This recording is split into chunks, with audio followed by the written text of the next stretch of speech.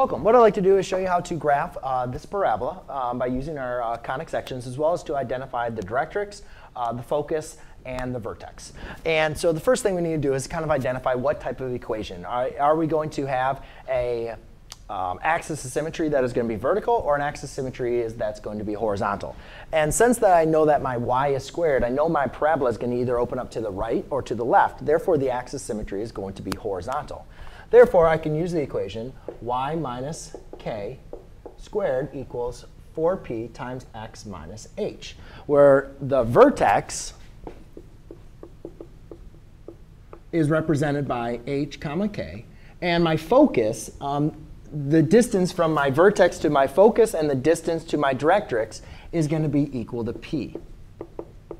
But typically, we just look at the, the p as the distance from the vertex to the focus because it's going to be the opposite of p, but it's going to be the same distance, but it's going to be the, um, in the opposite directions to find the, vert, uh, the directrix.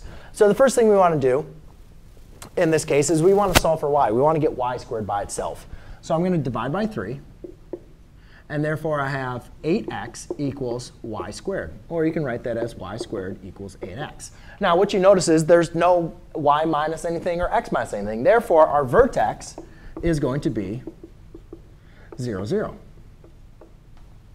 Right? So I'm going to go over here, and I'm going to write a nice vertex at the origin, which is 0, 0. The next thing is I need to determine what p is. Now, notice that um, 4p is being multiplied by x. So here, I have 8 that's being multiplied by x. So I can say that 4p is equal to 8. Divide by 4, divide by 4, p equals 2. Therefore, the distance from my vertex to my focus is positive 2. That means positive, I'm going to go to the right. So 1, 2. Now again, why am I not going up 2? Because remember, we identified since y was squared that the axis of symmetry is going to be horizontal. And the axis of symmetry is where my vertex and my focus will all lie on. So there's my vertex. There's now my focus. Now to determine the directrix, I'm going to use the same value p, but go in the opposite direction, which would be negative 2.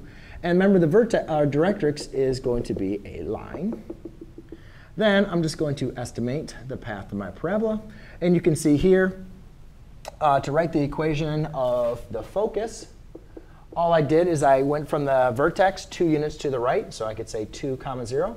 And if I write the formula for my directrix, notice that it is a vertical line. So I'm going to have x equals represents a vertical line. And you can see it crosses at negative 2. So there you go, ladies and gentlemen. That is how you graph a parabola as well as um, identify the vertex, focus, and directrix. Thanks.